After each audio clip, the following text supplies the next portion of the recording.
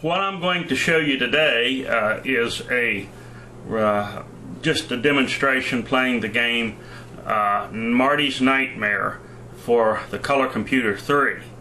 Uh, in 1990, as the color computer was uh, no longer being made and as the uh, market was going down, Steve Bjork, who wrote a lot of the games over the years for the color computer, uh, wanted to test the market to see if there was still the market to support a game, uh, support the cost of, of, developing a game. And so he developed uh, a game called Marty's Nightmare. Uh, it was a tribute to Marty Goodman uh, of some fame in the color computer world. He uh, wrote quite a bit of articles on the in Rainbow Magazine and was uh, uh, quite active on the Delphi Forum and provided a lot of help to a lot of people, including myself. And so uh, Steve Bjork wrote this game uh, to uh, as kind of as a tribute to him as well, uh, and distributed it at the Atlanta CocoFest. Initially, the only way you could get it was if you actually attended the fest. Well, I wasn't fortunate enough to be able to attend, but after the fest was over and there were some unsold copies of the game, um, one of the companies, I'm pretty certain it was Coco Pro, uh, made the game available uh, with through arrangements with Steve Bjork, uh, and I was able to obtain a copy. I don't know exactly how successful the game was, but it wasn't as successful, I don't think, as Steve Bjork hoped because we didn't really see any more games after this. But it was a very good game, and I don't think he really lost any money or not lost too much money on the development of it.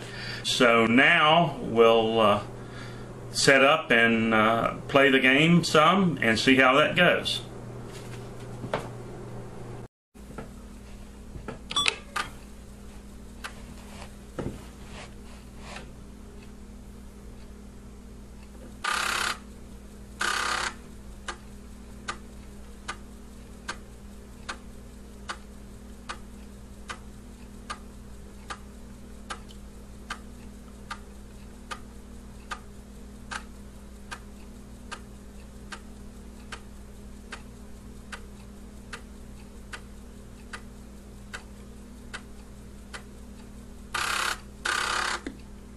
Welcome to Marty's Nightmare. Get ready, player one.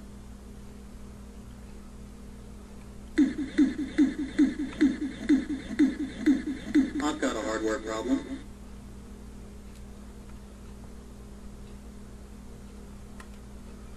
Oh, really?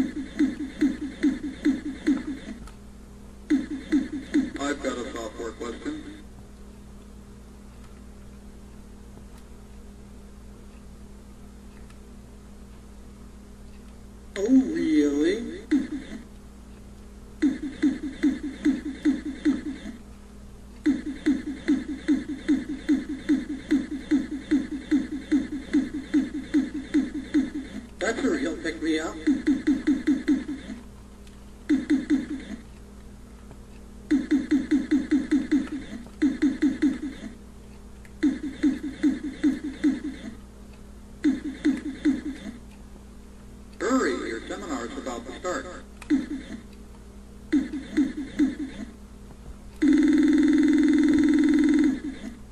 Get ready, player one.